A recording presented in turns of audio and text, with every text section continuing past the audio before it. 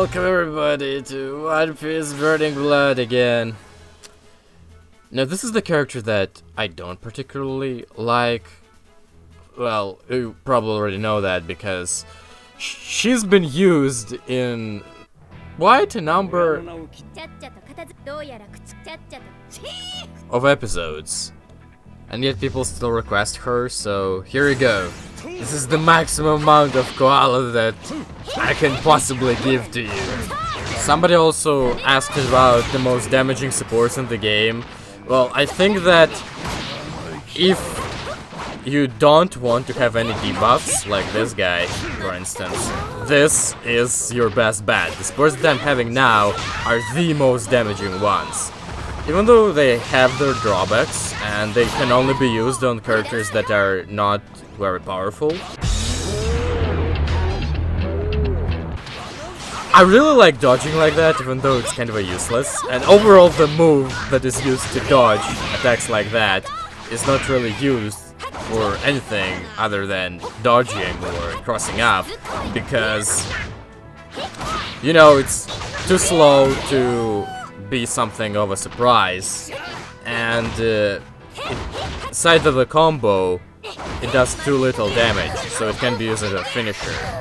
And if you hit it on block, it's still not plus, so no use for it but to dodge. Now here is the big drawback of this build, of actually, uh, of koalas. Look Logia.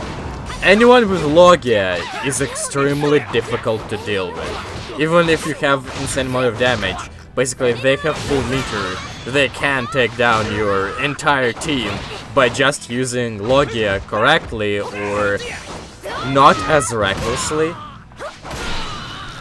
Now this guy has plus 8 attack, so supports are even better, but you see mine are enough to kill the dude out of an ultimate while he still has 70% of a health without comboing, and I think that this is more than enough. More damage is just mad. Triple Logia.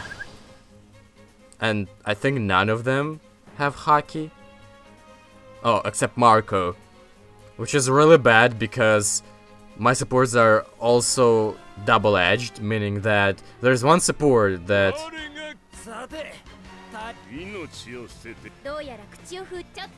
Choto Choto? That adds the damage to my opponent as well. And the same happens if you pick Benn Beckman, even though support itself doesn't really tell you that it does that, you can only figure it out by experience. And then he has three Logias. Defeating one Logia with Koala is kinda hard for me, but three is just... You know, I wanted to take it easy, this video, because, you know, anime gaming is a bit on a dull side. Not dull, but it's very quiet except of maybe Xenoverse DLC, but generally it's really quiet on releases, and it's been quiet for way too long.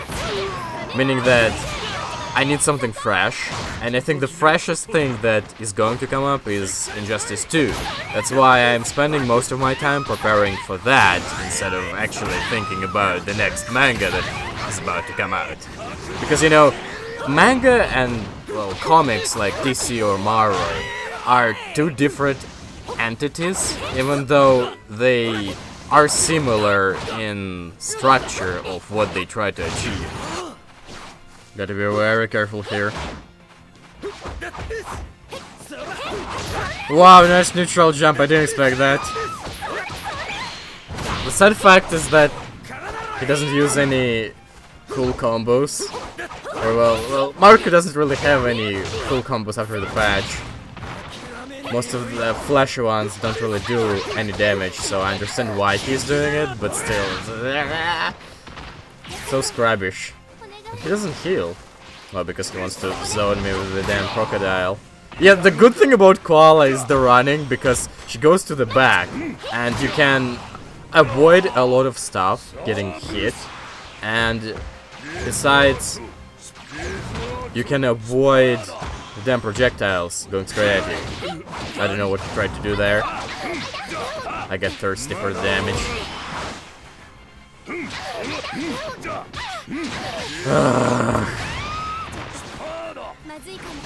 I generally need to touch him once to kill him, but I can't do that because of the Logia.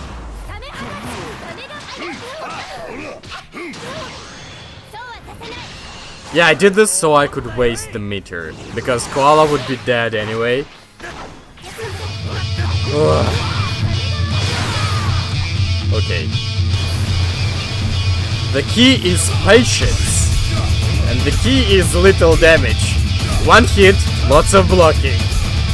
He's nervous. He knows that something is coming. The read is coming! No Logia, dude. No Logia, dude! What you gonna?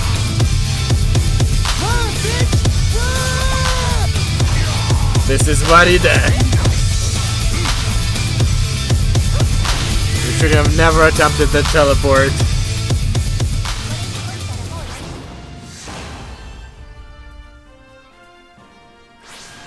I can't believe it, but in this case, I'm actually afraid of Tashigi.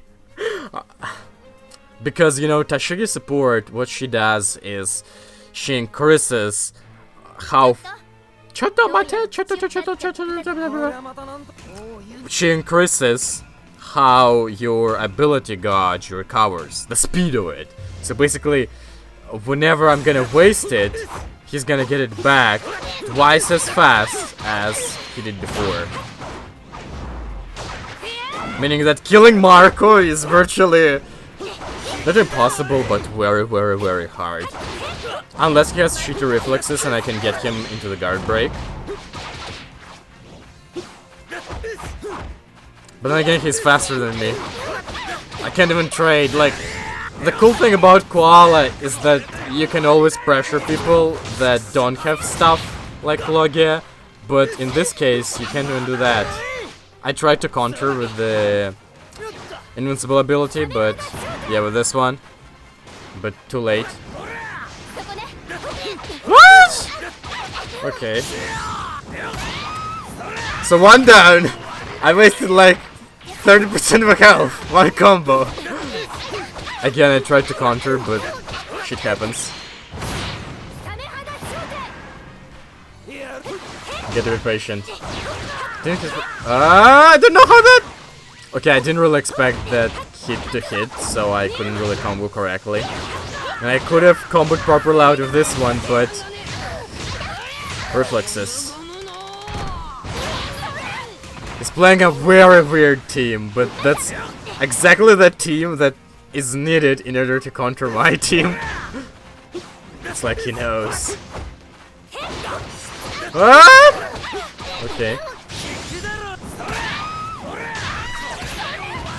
When the second call is almost down. And I still haven't wasted like a half of his health. I need a hit.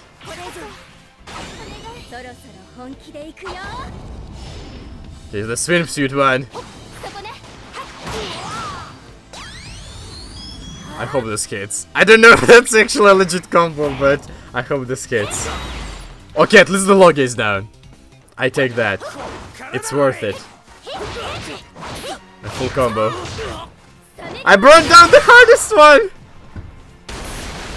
Okay. Now this should be easy, technically. If I just don't do stupid things, like he did right now, because he assumes that he will be invincible and he's not. Oh, full combo! Oh my god, I'm so doing this! Oh, he healed. Okay. And yeah. Okay, if I didn't fail that, that would have been GG. I'm not sure if this is actually punishable, but I will try to, because, you know, he's already in awakened stand. He needs done. Yeah, he doesn't need to turn back like a regular Luffy, talking too much.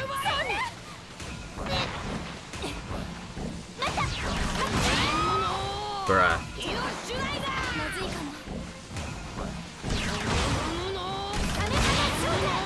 Oh, Nani?